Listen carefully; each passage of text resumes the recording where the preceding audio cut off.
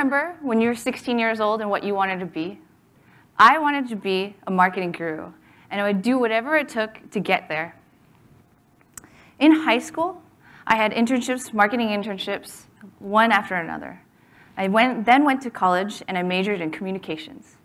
When I majored in communications, I took a part-time job in the marketing department of a small startup. And at the startup, um, I basically did everything from website design to um, basically anything. And then I graduated in 2008, and um, they offered me a full-time job at a uh, as a product marketing associate. And as this product marketing associate, um, in 2008, I was so stoked. I was so happy that I got to my dream.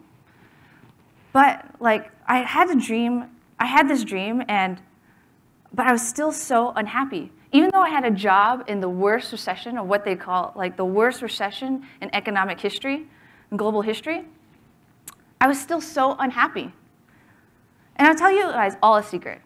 I had this lingering feeling that I needed to do something. I knew that this something that I had to do, and it had to do with impact. So let me talk about the definition of impact. So I started looking more into this definition of impact. And it means to have a strong effect on someone or something. To have a strong effect on someone or something. I launched my career in marketing, but it didn't have an effect on anyone but myself. So I think this definition of impact, there's still more to it. You have to think about it. It's, it's about selflessness. To have a strong effect on someone or something other than yourself. You want to think about, to have good impact, you need to think selflessly. And so let me tell you a story. There was one day, my boss came up to me and he was like, here's an HTML book, how to learn HTML. And, and he was like, we need a website. And I was like, okay. And I started to learn how to code. And it was then I realized that I started spending all my time developing this website and spending all my time studying web usability. And in this process, I realized that web usability, if I did small tweaks to the website, it would make the user experience so much better. And with in making that user experience so much better, it led to greater sales on our site. Um, we had customers calling in and saying, hey, we, learned, we saw your product and uh, we want to know about, more about it. We had lead generation coming through our contact us form, and I was ecstatic. This was my first taste of impact. And impact starts small. So this is when I realized that coding was my shtick. And I knew that I could have more impact in coding. And I wanted to take it to the point where like I could have greater impact using coding. So I started looking to a way of changing careers. And when I started looking into seeing if I can go to any four-year accredited school, um, this is what people said to me. Oh, sorry. I think it's missing a slide.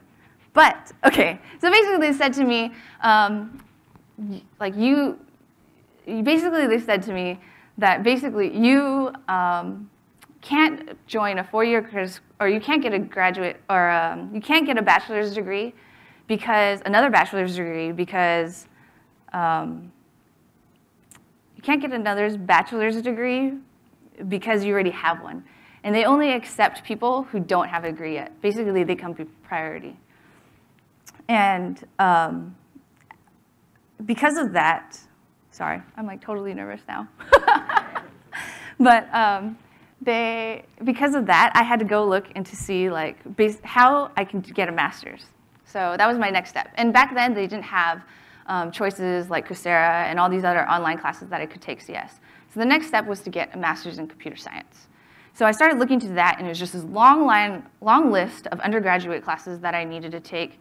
And um, and, and then I, I needed to figure out how to take these undergrad classes because I obviously couldn't get another undergrad degree in computer science. So what I ended up doing is I found the UC extension program. And through this extension program, I was able to take these classes. The problem with that is that I needed to get, um, I was not a UC student. I was an extension student. So basically, I came after all the students that after the wait list, and I had to wait. And I tried to find a way to get around it. I started pestering um, I started pestering professors. I started stalking them after class.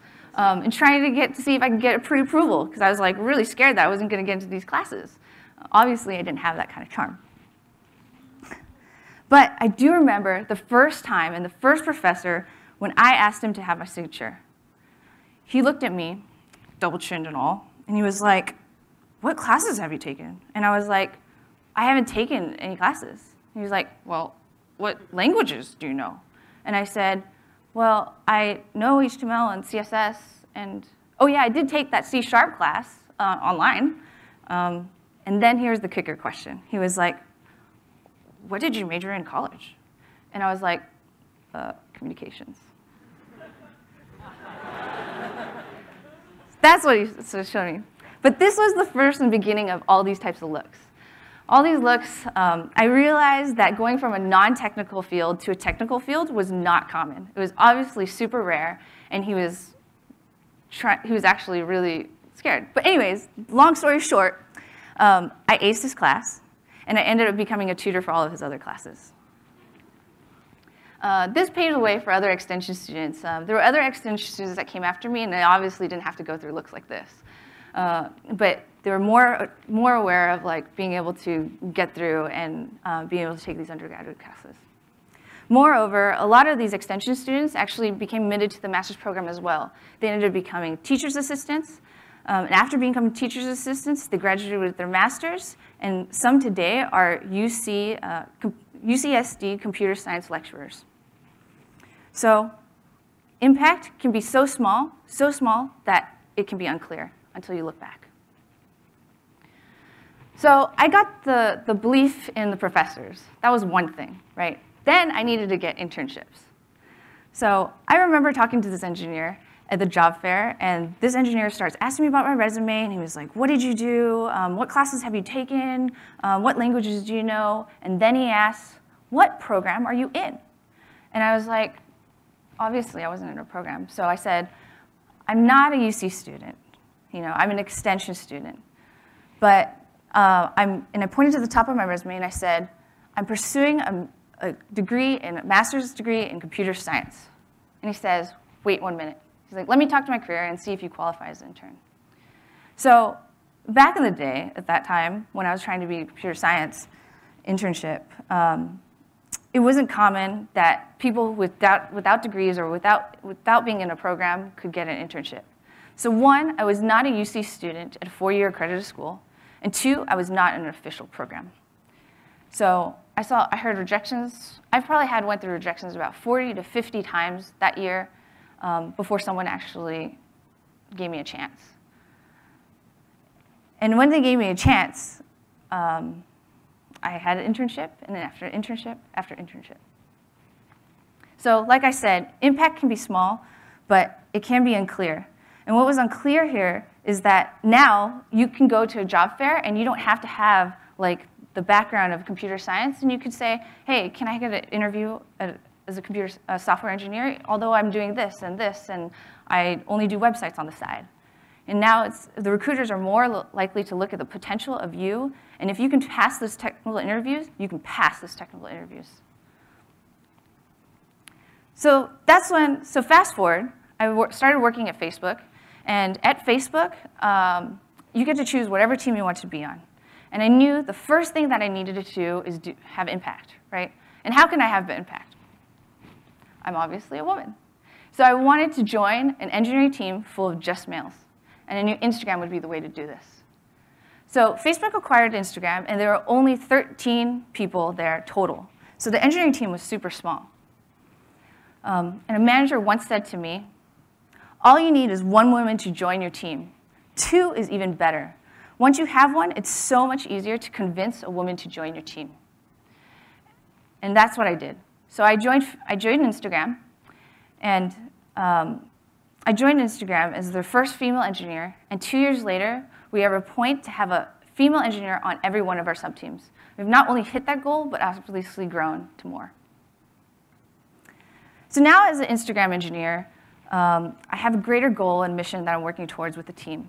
And Instagram's mission is to connect the community at, to the world as it happens. And the way that we do this is one way is, oh, I forgot to say, one point of my, my um, about joining a team full of women is that if you strive for impact, you will directly make an effect. So one way that Instagram does this is through their Instameets. I've seen Instameets in Russia, China, London, and all over the nation, even in like Malaysia and India, Indonesia. And, there's, and I had an Instagrammer describe it this way.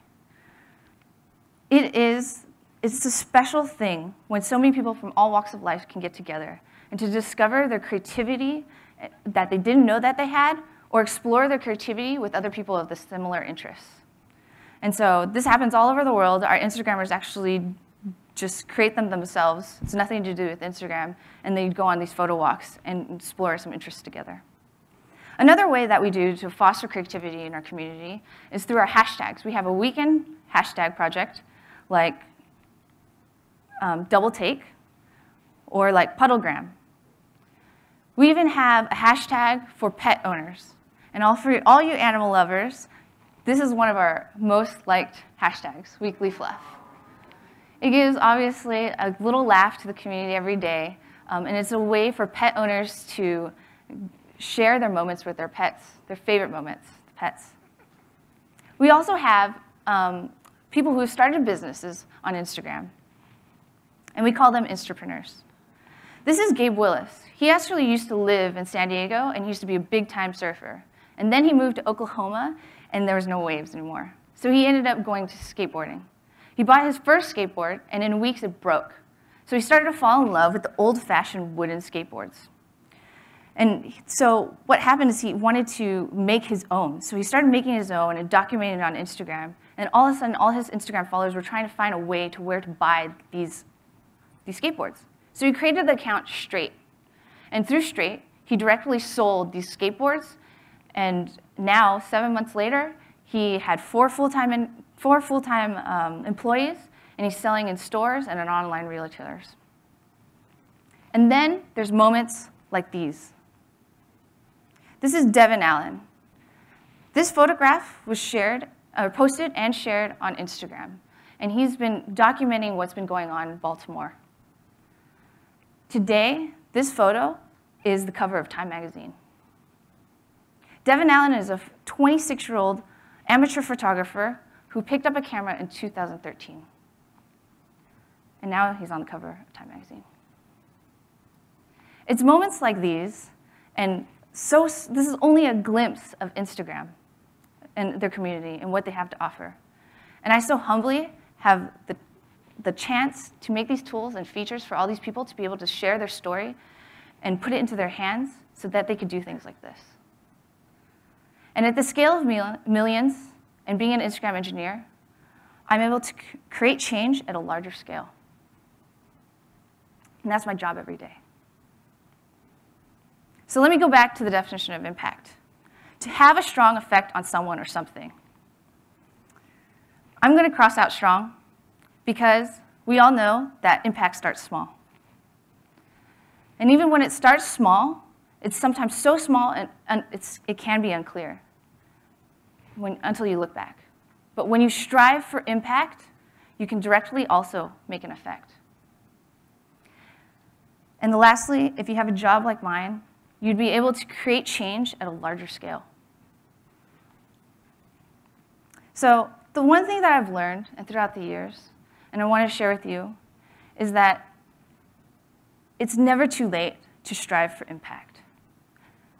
It's never too late to change your master's or change your major, it's never too late to change your job.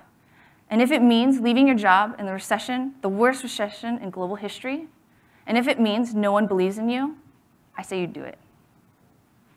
I believe in you, of course. I've done the same thing, so I will believe in you. And I just want to leave you with this question of how can you have impact? And better yet, how can you define impact? I'm Brina Lee, and I'm Instagram engineer.